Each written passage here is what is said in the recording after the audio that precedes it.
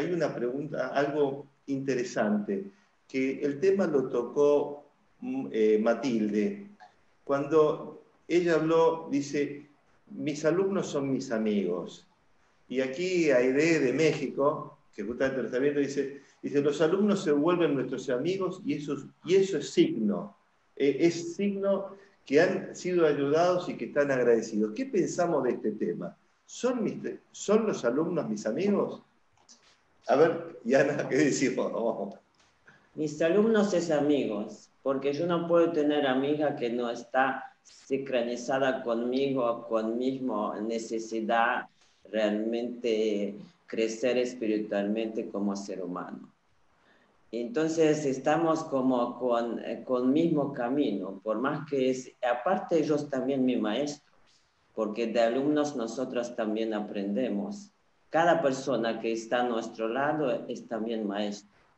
Entonces realmente también mis, mis alumnos es mis amigos porque tengo mismo interés con ellos.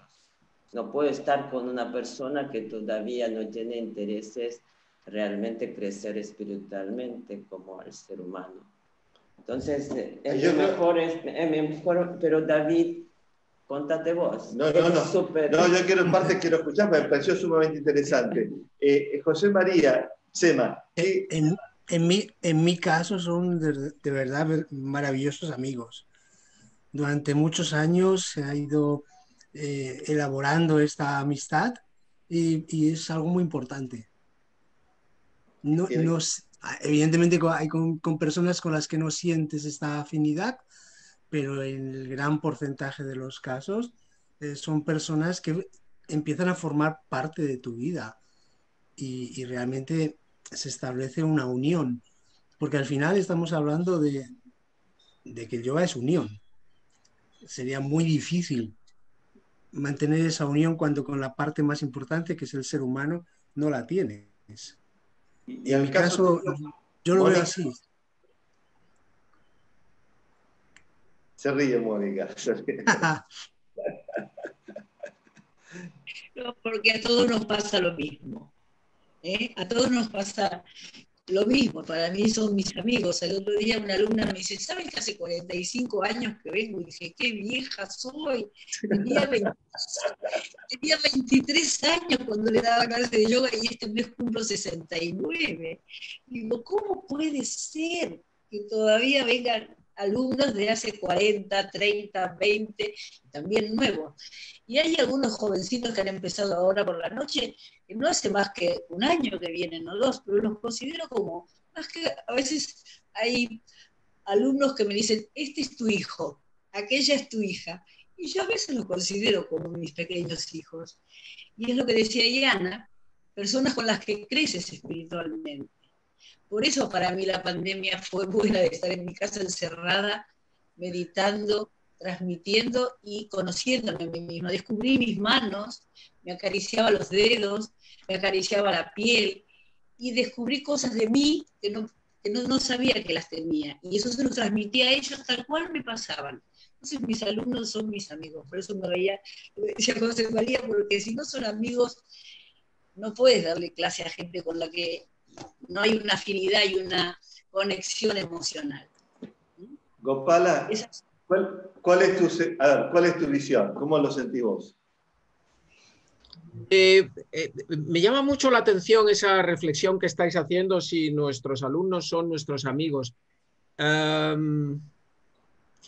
Eh, yo creo que en el fondo no discrepo de vosotros, pero no es la palabra que yo utilizo con, con, los estudiantes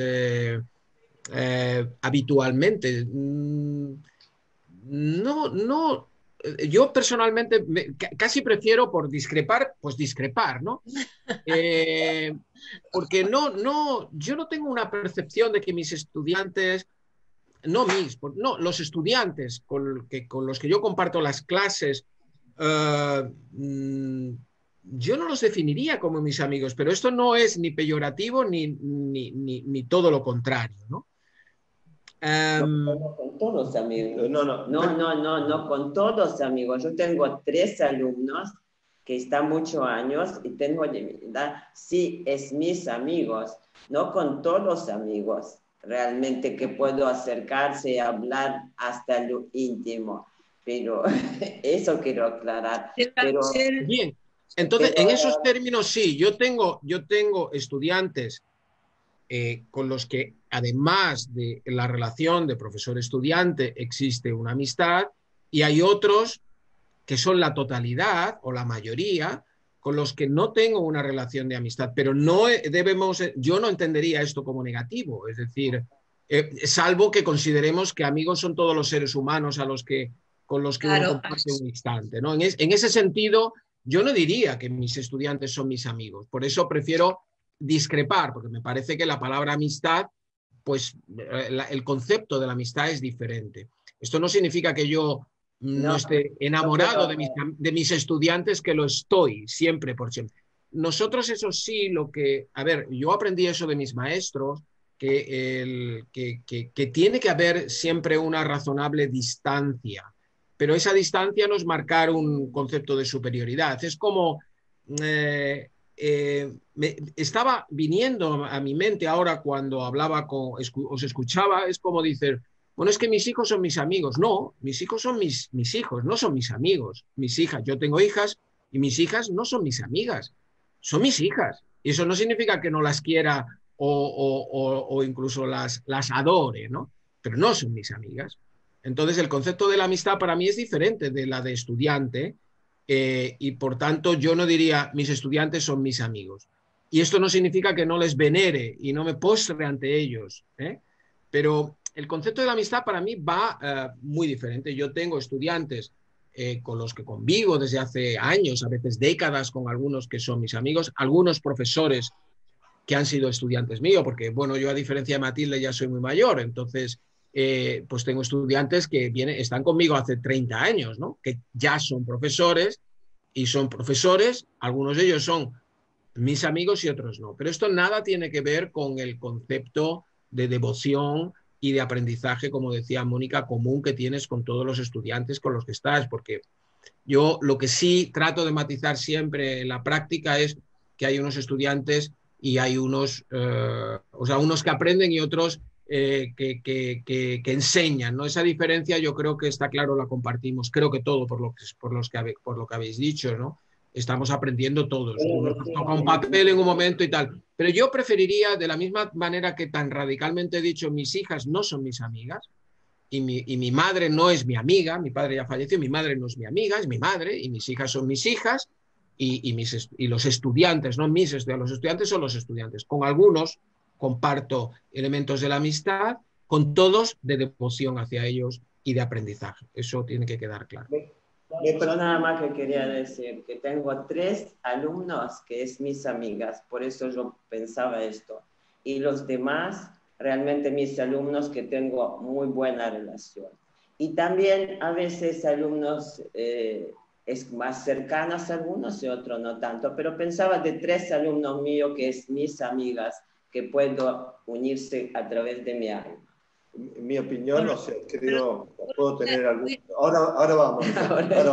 Eh, en, principio yo me siento muy cercano a la posición de, de, Gopala, en el sentido de que creo de que yo puedo hablar con mis alumnos de un montón de cosas, siempre son mis alumnos, de un montón de cosas. Y en algunos momentos, con algunos de ellos, quizás tenemos una relación un poco más profunda, pero no más que eso pero es algo muy puntual y creo indudablemente que mis alumnos se merecen, mis alumnos se merecen el mayor de los respetos y el mayor de los, de los espacios y de las distancias, porque no podemos invadir su propio mundo. Esta, esta es la realidad, lo que yo siento. Valiéndome de mi título de, de maestro, de profesor, de monje, de lo que sea. Claro, debemos respetar los espacios propios de cada persona. Quiero ver si me puedo comunicar con Norma mientras ustedes siguen charlando sobre este tema. Mónica, que fue, encendió la llama. Mirá lo que hiciste, Matilde. yo lo que pasa es que soy una romántica, entonces yo solté así desde las vísceras lo de la amistad con mis amigos, aunque creo que no fui muy literal y entiendo claramente lo que explica Gopala y una vez que lo explica sigo aprendiendo. Claro, el, si nos vamos al diccionario a buscar lo que significa la amistad, pues seguramente No son todos mis amigos, pero a mí me puede la boca y soy muy romántica. de todas maneras, he de decir que yo creo que es la primera, y mira que llevo ya Zooms, Teams y reuniones de ese tipo, pero es creo que la primera vez, la primera vez en la que yo entro en un debate, una, una, reflexión sobre el concepto del estudiante y la amistad. Yo creo que mira que llevo ya horas de radio y de... Y de, y de pero nunca, nunca es la primera vez que alguien me pregunta que si tus estudiantes son tus amigos. Por eso, por eso he tenido que recrear un poco eh, mm, eh, mi, idea sobre ella. Digo, pero ¿qué están ¿Qué diciendo? Decía Sivananda, amigos? ¿Qué decía Sivananda Gopala? Que decía, acomódate, ¿cuál es la primera frase con la que empezaste? Eh, adáptate, ajustate, acomódate. Por eso yo digo, bueno, si me preguntan yo, pues voy a pensar primero antes de decir, porque no tenía muy claro qué decirte, David. Bueno, bueno luego ha sido claro. Tengo a Norma que es de Riva Roja. Norma Palomar nos invitó hace tres años atrás allá a su centro, en Riva Roja, y la tengo en línea. ¿Nos escucha, Norma?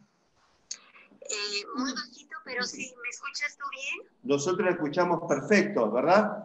Sí. Ah, eh, ah muy bien, muy bien. Eh, bueno, pues eh, Ribarroja de Turia está en la provincia de Valencia es un pueblo pequeño, pero tiene de todo. Mm, calles, edificios, tiendas, 22 mil y pico más o menos de habitantes, que es pequeño, y está a 24 kilómetros más o menos de Valencia capital hacia el noroeste, para ubicarles un poquito. Yo llevo ahí 15 eh, años en el centro.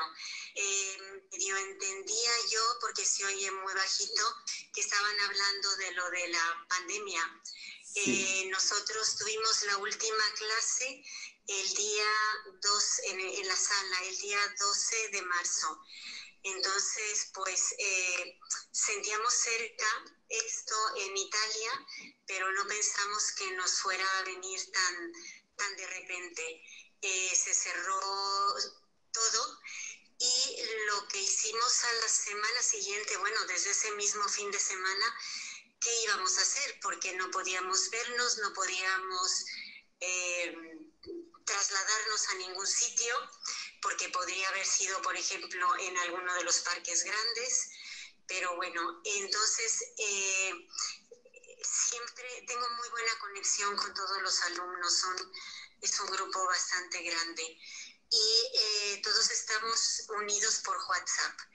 Tengo gente muy mayor que no mm, maneja internet, que era imposible mm, hacer las clases por internet, etc.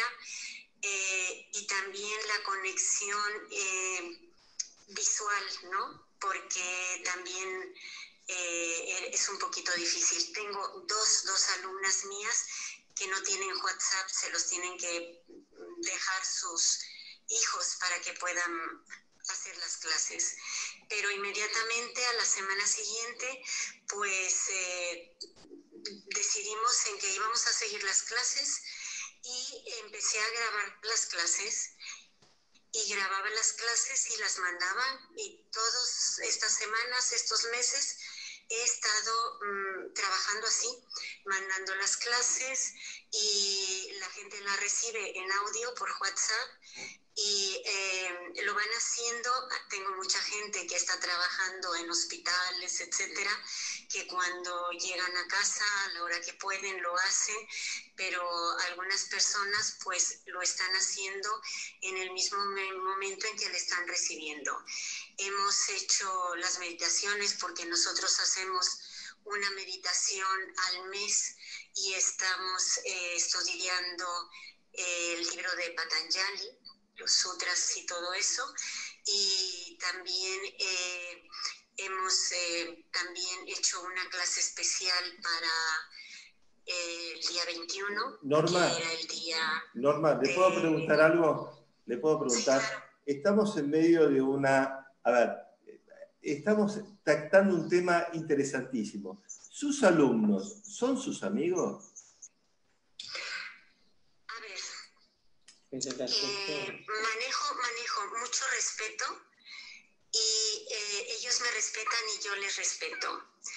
Hay personas que se acercan más y te comentan alguna cosa de su vida personal, pero yo desde el punto de vista de, pues, eh, de mi experiencia, etcétera, trato de ayudarles, pero mm, no me voy, no me voy de copas ni es, es muy difícil. Em, mezclar porque pueden ser personas que reaccionen muy bien y que sigan respetando el aspecto maestro-alumno, pero hay otras personas que se confunden y entonces toman más confianza y se creen que, que pueden, eh, no sé, ir más allá.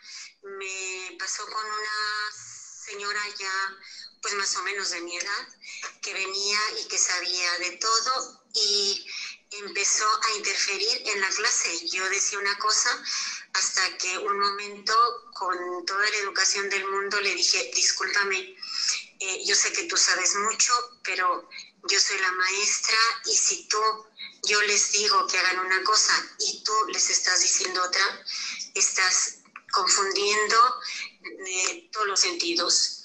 Así es que yo creo que eh, hay que tener eh, todo el amor del mundo porque los alumnos, si no tuviéramos alumnos, no podríamos ser maestros. Los alumnos nos alimentan y nos enseñan a ser mejores maestros, pero, pero siempre eh, que vean que es una figura que, en la que pueden apoyarse en apoyarse, porque si yo me siento con alguno de ellos y, y voy a, no sé, a comentar algún problema o alguna situación, o sea, no, eh, hay, que, hay que tener muy, muy, yo tengo más de 40 años de ser maestra, entonces he tenido muchísimas experiencias yo creo que eso es fundamental. Le agradezco, Norma. Ahí está la, Norma, figura Norma, Norma. ¿Sí? Eh, Norma, le agradezco. Eh, estamos compartiendo muy interesante su comentario. La sigo dejando en línea para que pueda usted ir escuchando, escuchando lo que estamos debatiendo. Le agradezco. Bueno, bueno, interesante la visión de esta maestra. Sí, sí, ahora para que siento un poquito la Bueno, ustedes, chicos. Quería, aclarar una cosa.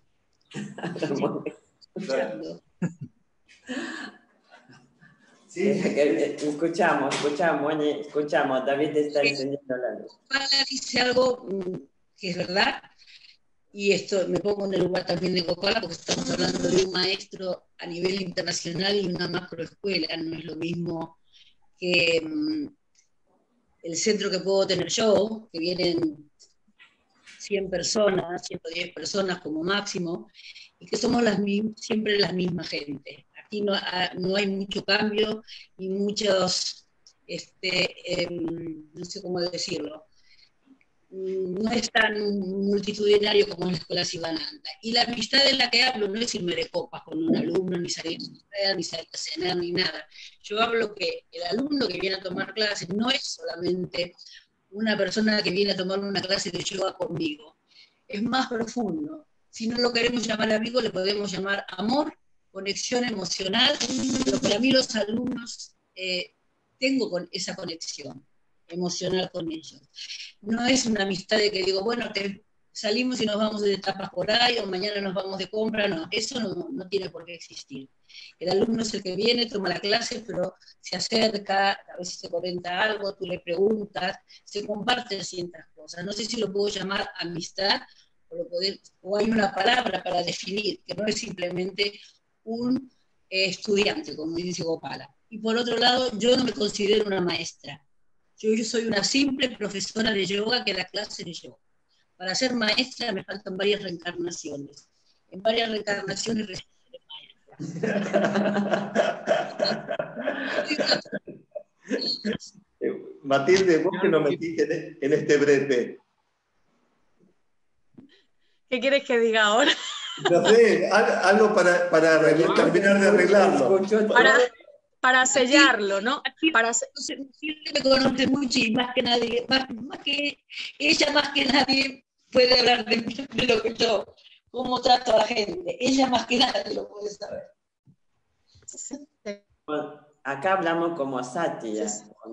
Eh, a mí me, a mí me, Claro, a mí me pasa que, bueno, yo, yo, paso por todas las fases. Yo paso desde la admiración, la devoción, el respeto, el amor, el aprendizaje continuo con mis, con mis mm, compañeros de práctica, alumnos, estudiantes, vamos a llamarlos como, yo ya ni siquiera sé cómo llamarlos, pero yo tengo auténticas amigas y auténticos amigos que he hecho en, la, práctica. O sea, realmente hay gente que viene a mi casa con mi familia, que empezaron a recibir clases conmigo, y luego tengo amigas y hermanas que acaban practicando y que no se han, se han acercado al yoga por, a, partir de que éramos amigas antes. Yo tengo... Mm, me pasa igual. Tengo un centro pequeñito, doy mis clases a un grupo de personas, hay mucha gente que va y que viene, estoy en una ciudad pequeña, esto es Palma de Mallorca, es una isla, eh, todos nos conocemos un poco y yo me humanizo, tengo el, igual yo no sé si es bueno o es malo, pero yo tengo el hábito de humanizarme con los practicantes y de mostrarme tal cual soy y yo ahora doy las clases con mi hija al lado en la, en la sala online o donde estemos y sí, me pueden encontrar con mi esposo en la playa o tomándome algo en un lugar y hay gente con la que, que viene a mi cumpleaños y que voy a sus casas. Yo la semana pasada estaba cenando en casa de una alumna que se ha hecho amiga, que hemos viajado juntas. Sí, o sea, igual he roto esa barrera. y hay gente que no, hay gente que pasa el tiempo y no sé ni siquiera a qué se dedican. O sea, hay gente que viene conmigo a yoga hace años y sé su nombre y su apellido y la ficha que tengo de sus datos, pero gente muy discretita que entra y sale a su clase y se va y aún así la conexión es eh, auténtica y enorme. Yo siento una gran conexión con la gente. Siento que el universo nos une, que Dios nos cría, ¿no? Mi mamá decía, Dios los cría y ellos se juntan. Eh, por algún motivo, la gente que viene a practicar conmigo eh, es un tipo de gente como que similar a mí. Yo siento que nos encontramos en el camino, ¿no? Y, pues sí, no puedo evitar a veces involucrarme un poco más, pero es bonito el experimento. No me ha salido mal hasta ahora, nunca. O sea. Gopala. Bueno, yo, yo, disculparme, a mí me gusta mucho tirar de diccionario y, no sé si es por desa... diccionario? ¿Qué, ¿Qué significa? A ver el término español, porque acá en, Argentina y en Uruguay no lo tenemos ese término. Amistad, dices. Amistad, ahí está. Allá, sí, yo, yo he tirado del diccionario que nos une a todas las academias de los eh, que estamos aquí presentes y, y, mm, yo aclarar dos cosas. Mira, amistad, lo que dice la Real Academia de la Lengua es afecto personal puro y desinteresado compartido con otra persona que nace y se fortalece con el trato. Así que, pues, evidentemente, pues todos somos amigos. Mis alumnos son mis amigos, entonces. Correcto. Entonces, eh, no sé, aquí Matilde se ha llevado el gato al agua. Y lo que sí que quería aclarar, porque para mí es especialmente relevante siempre, y ahí coincido muy, muy, muy directamente con Mónica. Eh, a ver, yo desde luego, eh, por lo menos en la escuela Sivananda, maestros son los maestros. Los demás somos meros estudiantes y como bien decía eh, Mónica, nos queda algunas reencarnaciones. Hombre, yo espero que nuestra práctica nos sirva para que no nos queden muchas, eso sí. ¿eh? Eh, no querría que fueran muchas, muchas, Mónica, pero sí, sí quiero aclarar que yo en la vida considero, cuando alguien me dice que soy un maestro y tal, bueno, yo es que es...